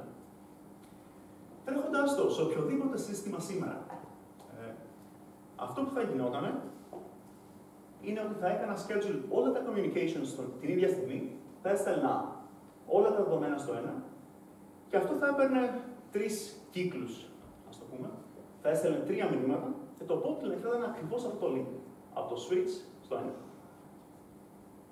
Η ιδέα είναι ότι όλα αυτά τα δεδομένα θα έφταναν ένα-ένα στον κόμμα. Πώς μπορώ να παίξω αυτό το, το, ίδιο πράγμα πιο γρήγορα; Η, η ιδέα μας ήταν ότι μπορούμε να κοιτάξουμε και σε αυτό το, το συγκεκριμένο τρόπο που έχω, που έχω σχεδιάσει το δίκτυο και, τα, και την κατανομή των δεδομένων, παρατηρήστε ότι ο κόμβο 4 και 3 έχουν το ίδιο κλειδί. Οπότε αυτό που μπορώ να κάνω είναι να τρέξω στον πρώτο κύκλο, να στείλω τα δεδομένα από το 2 στο 1, χρησιμοποιώντα αυτό το path, και από το 4 στο 3 χρησιμοποιώντα το κάτω Και να έχω αυτό το ενδιάμεσο αποτέλεσμα. Και μετά μπορώ στον επόμενο κύκλο να τρέξω, να στείλω αυτά τα δεδομένα πάνω και να ολοκληρώσω αυτό το query σε χρόνο 2. Ποια είναι η ιδέα εδώ πέρα, ότι αν κάποιος μου έλεγε ε, ότι υπάρχει locality και similarity μεταξύ του 4 και 3, όσο το link, το, το, το bottleneck είναι το link που στέλνει στον κόμβο 1, μπορώ εγώ αυτό το πράγμα να στείλω λιγότερα δεδομένα σε αυτό το link, κάνοντας aggregations κάπου αλλού, σε κάποιο άλλο network path που φτάνει και καταλήγει στο ένα. Now, having said that, uh, υπάρχουν ξεκάθαρα πάρα πολλές, πάρα, πάρα πολλές, uh, πάρα πολλές uh, τοπολογίες και πάρα πολλές κατανομές δεδομένων, τις οποίες αυτή η ιδέα δεν δουλεύει. Παράδειγμα, αν όλοι οι κόμβοι έχουν disjoint sets, δεν υπάρχει similarity, δεν μπορώ να το τρέξω. Άλλο παράδειγμα είναι αν έχω ενδεχομένως ε, πολύ λίγα δεδομένα, όπως δείχνω εδώ πέρα. Αν έχω πολύ λίγα δεδομένα, ενδεχομένως το να κάνω αυτό query planning είναι πολύ πολύ ακριβό. Τυχαίνει όμως, κοιτώντας πιο προσεκτικά ε, κάποια επιστημονικά δεδομένα, και για παράδειγμα το uh, Multis Dataset, που ήταν εκείνη η εφαρμογή που προσπαθεί να βρει που είναι η αιστεία της φωτιάς που έδειξα. Αυτά τα δεδομένα έχουν αυτό το χαρακτηριστικό ότι κάνουν high cardinality group eyes. Γιατί ο δορυφόρος περνάει δεν υπάρχουν πολλοί δορυφόροι. Έχουμε ενδεχομένως μετρήσεις από 5 ή 10 δορυφόρους κάθε μέρα. Και θέλεις να βρεις πληροφορία για κάθε συγκεκριμένο πεδίο σε ένα two-dimensional grid. Οπότε για κάθε σημείο που σε ενδιαφέρει, που είναι μια πιθανή αιστεία φωτιάς, έχεις μόνο να, να επεξεργαστείς ενδεχομένως 4, 8 ή 12 παρατηρήσεις. Σε αυτού του τύπου του προβλήματος, αυτή η ιδέα δουλεύει πάρα πολύ. Τρέχοντας το πάνω σε αυτά τα δεδομένα και χρησιμοποιώντας το EC2, βλέπουμε ότι μπορούμε να τρέξουμε ένα aggregation που είναι δύο φορές πιο γρήγορο από το να κάνουμε repartition. Ε, και αυτό είναι αρκετά ενδιαφέρον δεδομένου του ότι αυτός ο repartition algorithm που έδειξα είναι, το, είναι ο αλγόριθμος που χρησιμοποιούν όλοι, όλα τα συστήματα σήμερα για να κάνουν γρήγορα.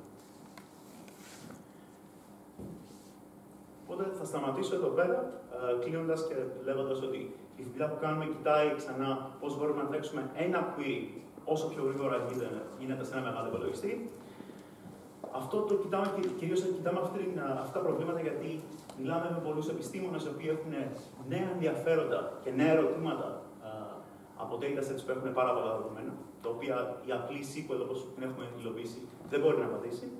Και τους ενδιαφέρει πάρα πολύ να μπορούν να τρέξουν αυτά τα ερωτήματα σε πολύ μεγάλους υπολογιστές και να χρησιμοποιήσουν hardware το οποίο δεν έχουμε σκεφτεί πώς μπορούμε να χρησιμοποιήσουμε πολύ εύκολα. Μίλησα για τρία πράγματα. Uh, Array Bridge, αυτό το, αυτό το σύστημα το οποίο ενώνει τη decidedly και αυτά τα αρχεία, uh, file formats που έχουν επιστημονικά δεδομένα. Μίλησα για το πώς μπορούμε να τρέξουμε, uh, να κάνουμε ανάλυση δεδομένων πιο γρήγορα από ό,τι χρησιμοποιώντας το MPI, μιλώντας ένα επίπεδο παρακάτω στο επίπεδο του RDMA και Infinite Verbs. Και μια ωραία ιδέα για το ποια είναι ίσως ενδεχομένως opportunities για αλγορίθμους που τρέχουν σε τέτοιους είδου δίκτυα και όταν μιλάμε για αυτό το very high scale, πώς μπορούμε να ξανασκεφτούμε απλού αλγορίθμους ε, από, αυτή την οπτική γωνία. Να ολοκληρώσω ευχαριστώντας τους φοιτητές ε, που δουλεύσαν σε αυτό, ε, συνεργάτες και φυσικά resources και particularly industry resources που μας βοήθησαν να κάνουμε αυτή τη δουλειά.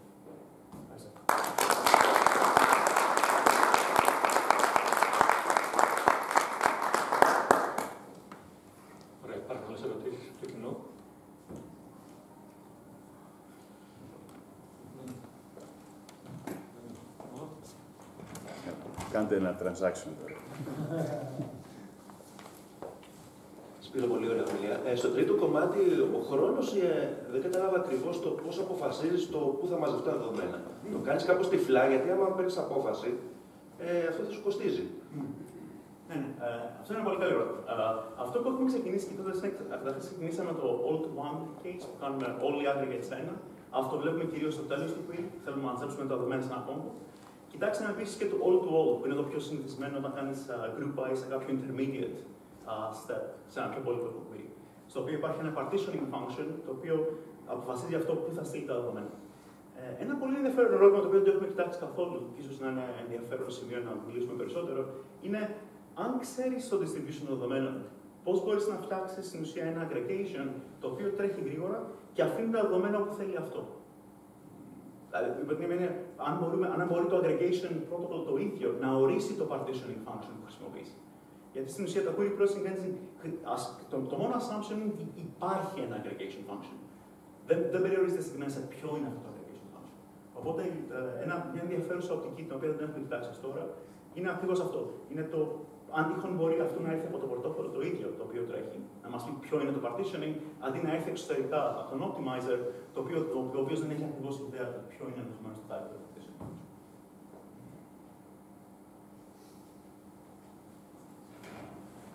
του partitioning. Σπύρο, τα APIs με τα οποία δουλεύει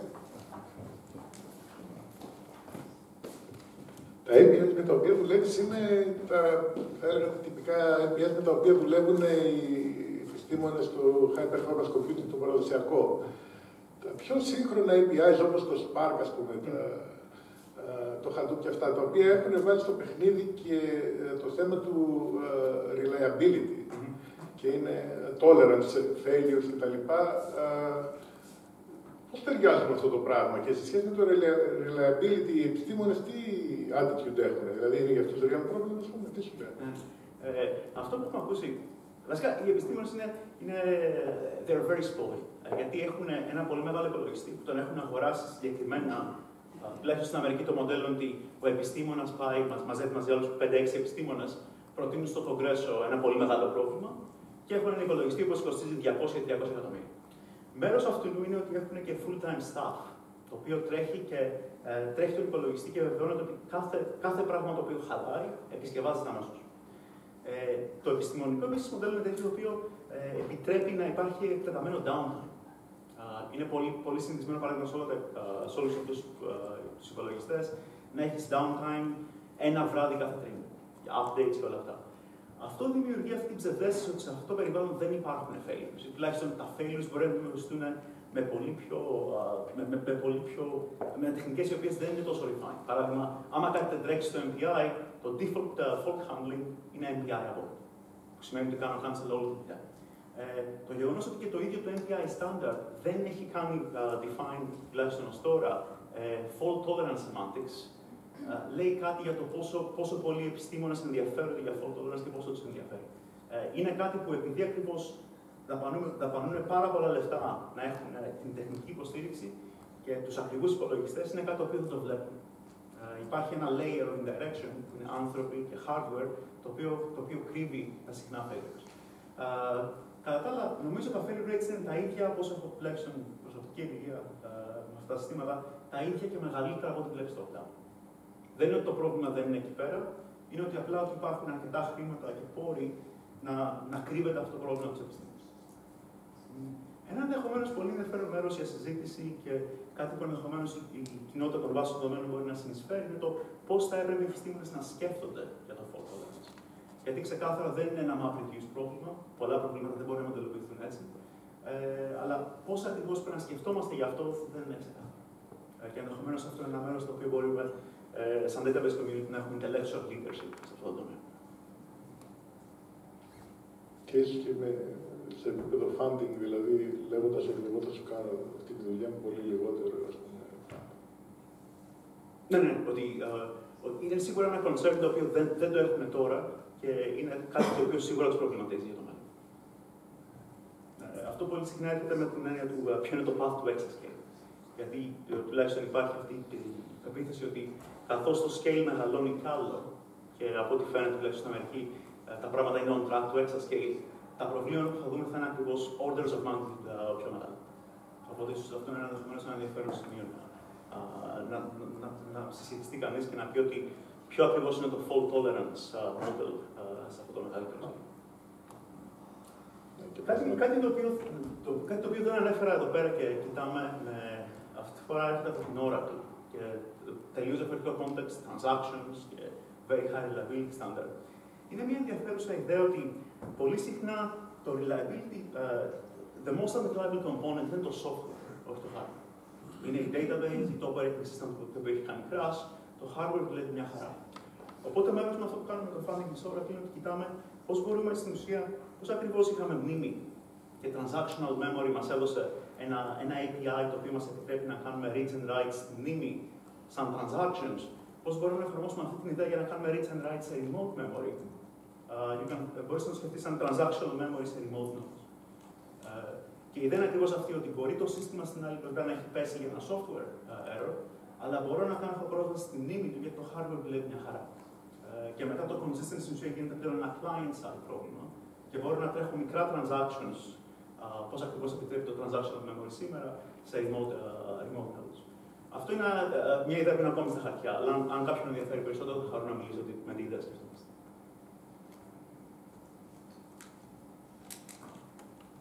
Στο τελευταίο κομμάτι ανέφερε μόνο πράγματα που έχουν να κάνουν με aggregation. Υποθέτω ότι το πρόβλημα υπάρχει για gems. Το κλασικό semi-join και τα λοιπά, που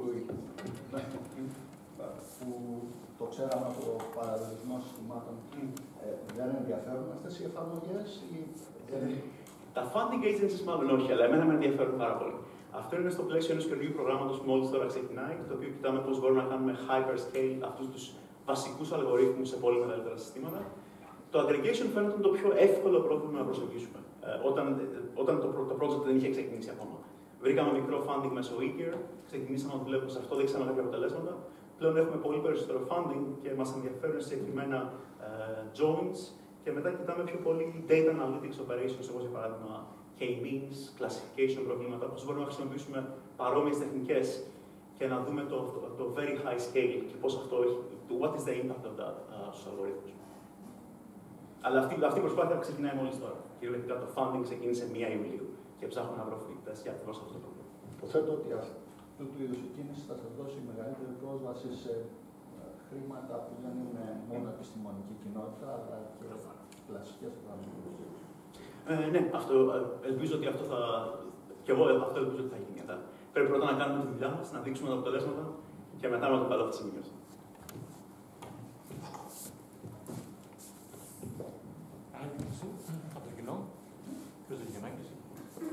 Επίσης, κάτι που είδα χθες, αν υπάρχει ενδιαφέρον, έχω μερικά slides που, αν έχουν ενδιαφέρον κυρίως στου συναδέλφους, ε, είδα κάτι το οποίο δεν καλύψαμε το παιδαγωγικό κομμάτι.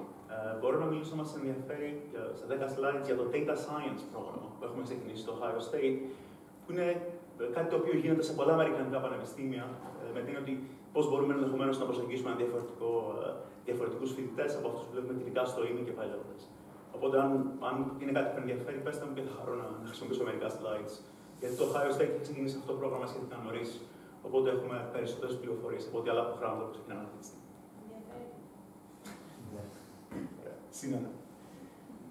Πίσω στις τεχνικές ερωτήσεις. Ε, για το πρώτο κομμάτι, ε, το processing το οποίο κάνουν οι επιστήμονες, από ό,τι κατάλαβα, συνήθως είναι κάπως batch processing. Δηλαδή είναι κάτι πάρα καθαρά stream δεδομένα από κάθε κομμάτι του simulation το οποίο περνάει και επεξεργάζεται απευθείας από το δεύτερο κομμάτι.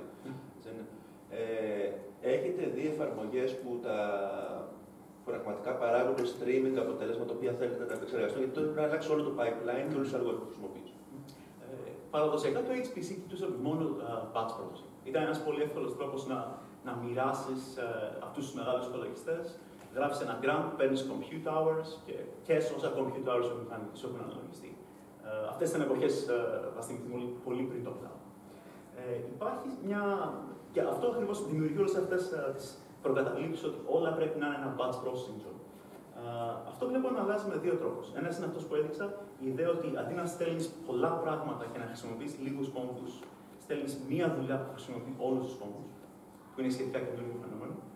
Ε, ο άλλος τρόπος τον οποίο αλλάζει και προχωράει πιο πολύ σε streaming περιβάλλον είναι η ιδέα ότι πρέπει να φέρεις τον άνθρωπο, ε, αυτό που λέμε human in the loop analytics. Έχω δει συγκεκριμένα πολύ ενδιαφέροντα use cases, παράδειγμα από Boeing, ε, η οποία θέλει να σχεδιάσει ένα φτερό. Αλλά αντί να τρέξει αυτό με διαφορετικά configurations σε batch processing και να σου δώσει αποτελέσματα, σου δίνει ένα interface και ο χρήστης διαλέγει ένα συγκεκριμένο σημείο και το κουνάει. Τρέχει simulated annealing, basically, uh, και ολόκληρο simulation από πίσω, ε, μιλάμε για δεκάδες χιλιάδες νόμου, δίνει το αποτέλεσμα, το κάνει visualize την ίδια στιγμή και σου δείχνει ότι με το που άλλαξε το φτερό σε αυτό το σχήμα, πώς άλλαξε το flow, uh, uh, το, flow του air, το, το airflow uh, γύρω από αυτό το πεδίο. Αυτό είναι κάτι το οποίο αυτόματα αλλάζει όλο το pipeline σε κάτι που για λόγους interactivity πρέπει να είναι stream. Καθώς το κουνάω, στέλνω δεδομένα στο backend, το οποίο ξαναυπολογίζει πώς αυτό αλλάζει το simulation και μου στέλνει απαντήσεις αμέσως. Οπότε εκεί πέρα βλέπω πραγματικά προοπτική να τα streaming προβλήματα να παίξουν πολύ μεγαλύτερο ρόλο.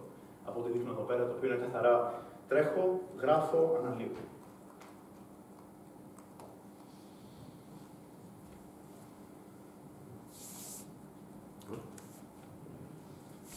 Ε, Ήθελα να σε ρωτήσω για κάτι που είδα στο πρώτο μέρος για το Array Bridge. Μίλησες για το TensorFlow. Ναι. Οπότε ήθελα να σε ρωτήσω τι κάνατε με αυτό σε σχέση με αυτά και επίσης έχετε α, σκεφτεί καθόλου τι γίνεται με το με GPU computing και τα λοιπά που γίνεται τώρα χαμός; Ναι, πο- πολύ καλές ερωτήσεις.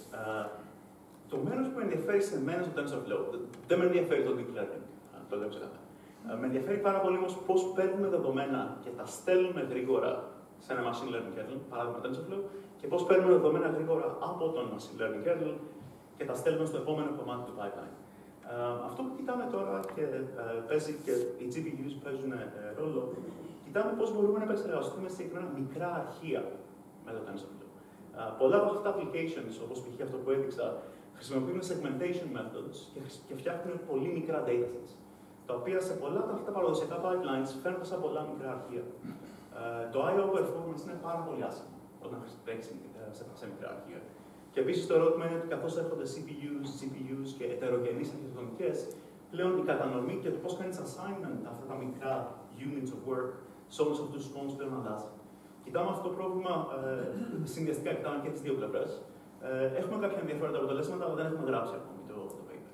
Αλλά θα χαρώ να πω περισσότερα με κάποιε ιδέες που έχουμε. Αλλά σίγουρα είναι πολύ ενδιαφέρον ερώτημα το ε, πώς επηρεάζει, πώς επηρεάζει στον χώρο των βάσεων δεδομένων η όλη ιδέα του machine learning, deep learning, ποιο ακριβώς είναι το impact, τι ακριβώς έχει και το κάθε community να συνεισφέρει. μέσα. Και Άλλο ερώτημα; Ωραία, εγώ θα έλεγα για να μην πούμε πολύ αυτό το πρόγραμμα, δεν είναι σίγουρος ακριβώς. Α, Να κάνουμε το διάλειμμα, να αποδώσουμε σε αυτές τις ομιλίες και θα μας πει το κομμάτι της συζήτησης, θα έχουμε χρόνο για συζήτηση μετά. Έτσι. Ναι, ή μπορώ να μιλήσω απευθείας στο Ε, ναι. OK, OK, έχουμε χρόνο. έτσι. Όπως Εντάξει, θέλετε. Δεν έχω ρολόι. Ωραία. Ωραία, πείτε μας. Ωραία. Συνεχίζω, θα πάρει μόνο πέντε λεπτά.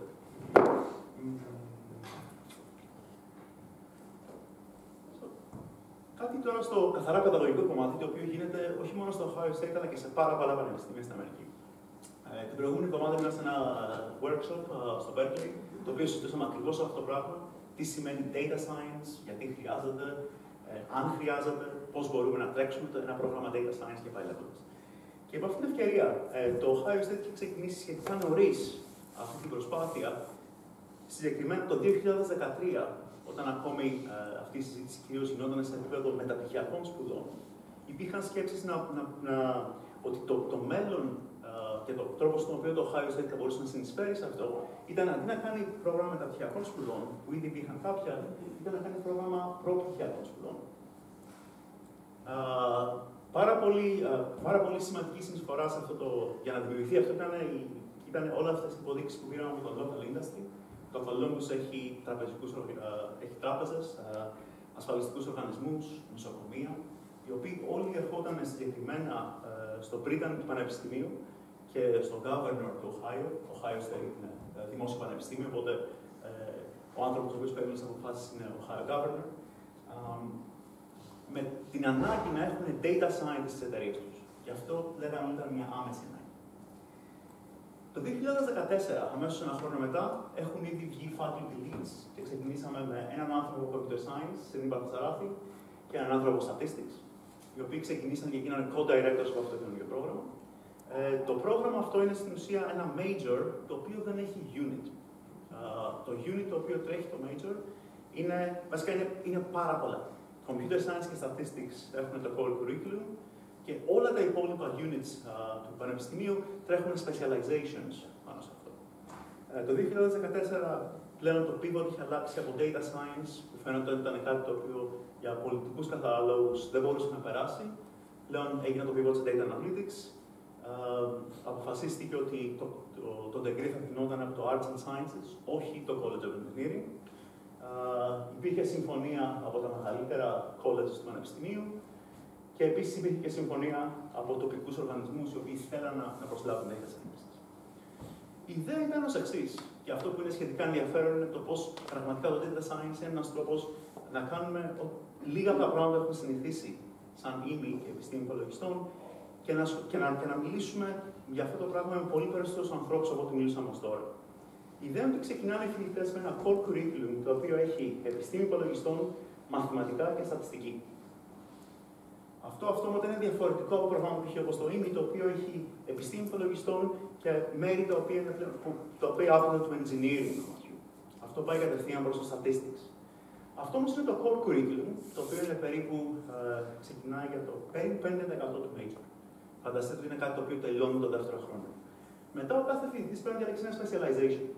Ξεκινήσαμε με τρία, biomedical, business και social science, και έχουμε προσθέσει πολύ, πολύ περισσότερα. Και στο τέλος, κάτι που, ήταν, που είχε σχεδιαστεί να προσωμιώσει την διπλωματική εργασία που βλέπουμε στο Πολυτεχνείο εδώ πέρα, υπάρχει ένα capstone experience, το οποίο ξεκινάει από το local industry, μας στέλνουν ένα πρόβλημα που, θέλουν, που θα θέλουν να δουν να δουλεύει. Ο φοιτητής δουλεύει ανεξάρτητα και μόνος του για ολόκληρο εξάμεινο. Στο τέλος παρουσιάζει τα αποτελέσματα της δουλειάς του στους ανθρώπους που, που δώσαν αυτό το πρόβλημα. Και πάρα πολύ συχνά μετά η συζήτηση ξεκινάει με internship και full time offer. Η ιδέα του core curriculum είναι ότι συνδυάζουμε, πραγματικά μιλάμε για foundations of data analysis, συνδυάζουμε, συνδυάζουμε πράγματα τα οποία είναι καθαρά θέματα μαθηματικών, την algebra, καθαρά θέματα επιστήμης υπολογιστών, cloud computing, και προχωράμε επίση σε, σε τομείς που κυρίως άπτονται της στατιστικής, που ήταν ένα department το οποίο δεν μιλούσε πάρα πολύ με computer science ω τώρα. Κάποια specializations είναι biomedical, business, computational, data visualization, social science. Έχουμε καινούργια τώρα σε athletics, σε law και πάρα πολλά άλλα πράγματα. Το specialization είναι ο καλύτερος τρόπος να προσεγγίσουμε άλλα units στο πανεπιστήμιο και να, και να τους φέρουμε σε, σε επαφή με το computer science και statistics. Και όλοι αυτοί μοιράζονται πλέον τα credit hours, το οποίο, uh, το, οποίο το πρόγραμμα uh, κάνει offer. Και τουλάχιστον στην Αμερική, uh, το πόσα credit hours μπορεί κάθε department και κάθε major να δημιουργήσει είναι πολύ σημαντικός παράγοντας του προπολογισμού του κάθε major και department για τον επόμενο χρόνο. Και αυτό είναι νομίζω το οποίο προωθεί αυτή την ιδέα ότι πρέπει να κάνουμε περισσότερα πράγματα τα οποία ε, απευθύνονται σε ανθρώπους που είναι εκτός του computer science. Τι έχει αλλάξει στην πράξη στα μαθήματά μας, Παίρνω σαν παράδειγμα το μάθημα που κάνω εγώ, Data in the Cloud. Το Data in the Cloud που διδάσκω ήταν στην αρχή καθαρά και μόνο για Computer Science and Engineering στο τελευταίο uh, offering θα δείτε ότι είχαμε μόνο 6, 18 φοιτητέ ήταν Data Analytics πριν το επίπεδο που έχουν διαλέξει Specialization, uh, προς το, αυτό ήταν το δεύτερο έτος τους. Άλλοι τόσοι φοιτητές ήταν στο επίπεδο που έχουν διαλέξει το Specialization και όπως θα δείτε το distribution, κυριολεκτικά πήγαν σε οποιοδήποτε specialization τους ενδιαφέρον. Βλέπετε τρία άτομα διαλέξαν μαθηματικά, medicine, Spanish, psychology, philosophy, οτιδήποτε. Αυτό είναι ένα τελείως διαφορετικό ε, περιβάλλον για τους φοιτητές. Είναι ένα τελείως διαφορετικό ε, audience που έχουμε συνηθίσει οι άνθρωποι που είμαστε από αυτή την πλευρά της διάλεξης. είναι πολύ διαφορετικό της διάλεξης που πρέπει να κάνουμε, τα ίδια των προβλημάτων που πρέπει να μιλήσουμε. Είναι πραγματικά μια τελείως διαφορετική εμπειρία. Ε, το μόνο που είναι ενδιαφέρον είναι ότι κυριολεκτικά αυτούς για τους οποίους σχεδιάστηκε το μάθημα αποτελούν μόνο 15% του κόρσου. Και αν ρωτήσετε γιατί το άθροισμα είναι 40, είναι γιατί μόνο τόσο αφήνει το Ohio State να πάρουν ένα μάθημα ανά κάθε φορά. Ε, έχουμε αυτό το institutional limit ότι όλα τα classes είναι αυτό το forest. Το καλό με αυτό είναι ότι πλέον καθώς τα enrollments αλλάζουν, αλλάζει και το motivation των ανθρώπων να επενδύσουν για αυτό το τομέα. Και συγκεκριμένα στο Ohio State, ενώ όλο αυτό το πρόγραμμα έχει ξεκινήσει χωρίς καμία επένδυση, πλέον βλέπουμε την πιο σημαντική επένδυση που μπορεί κάποιος να κάνει τουλάχιστον στην Αμερική ε, σε χώρο και κτίρια. Έχουμε πλέον ένα 60 εκατομμύρια για να φτιάξουμε χώρο αποκλειστικά για data analytics. Και αυτός ο χώρος έρχεται σε δύο μήνες. Έβγαλα φωτογραφία πριν φύγω και τώρα φαίνεται έτσι. Οπότε αυτό είναι μια, μια πολύ ενδιαφέρουσα ε, οπτική για να αυτό που κάνουμε να έχει μεγαλύτερη απήχηση σε ένα πολύ ευρύτερο, ε, σε ένα πολύ ευρύτερο, σε μια πολύ ευρύτερη μέταφη των που βρίσκαμε παραδοσιακά στα τμήματα. Ε, δεν ξέρω πώς η συζήτηση, αν έχει φτάσει εδώ πέρα ή πώς πώς προχωράει εδώ πέρα, αλλά είναι κάτι που ενθαρρύνω όλους να το σκεφτούν για τα δικά τους προγράμματα.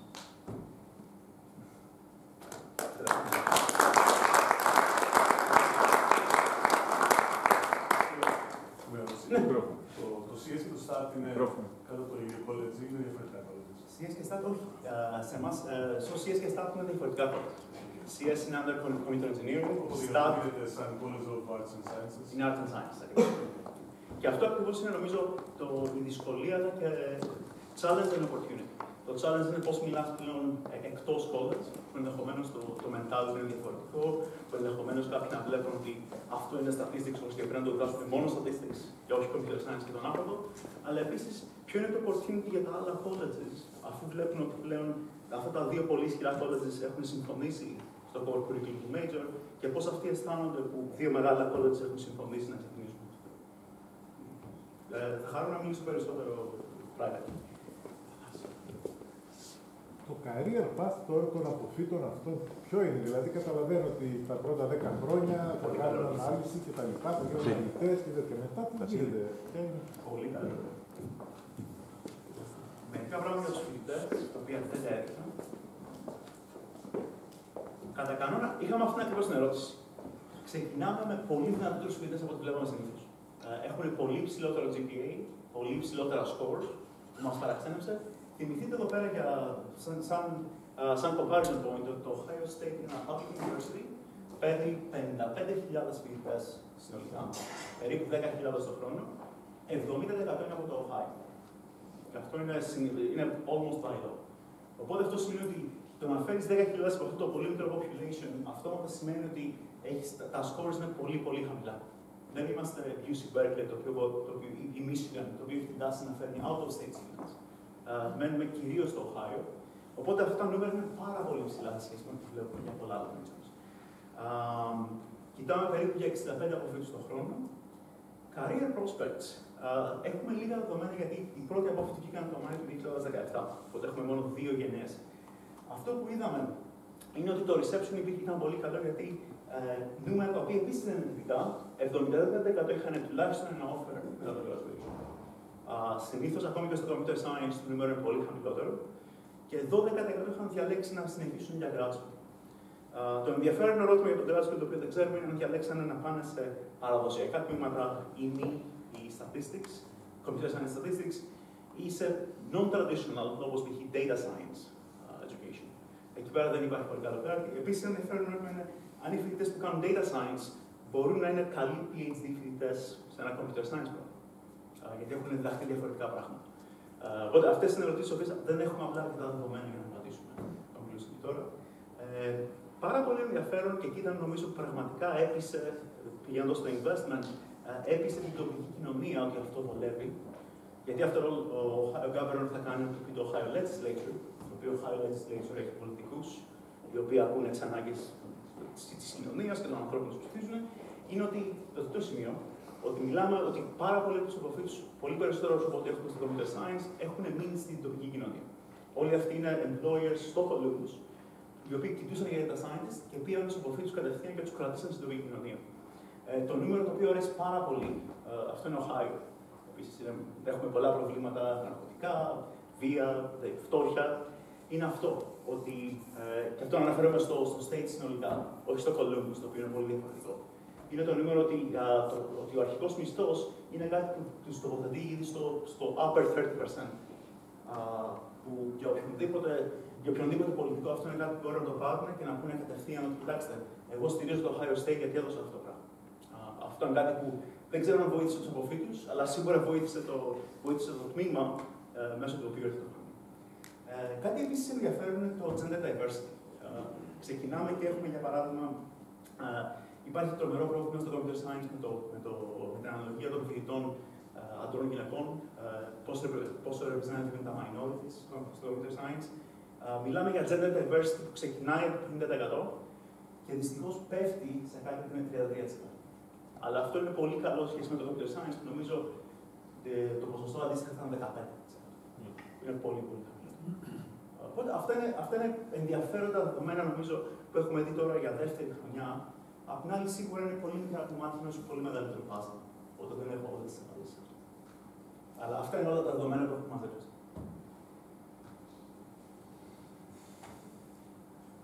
Κάτι άλλο;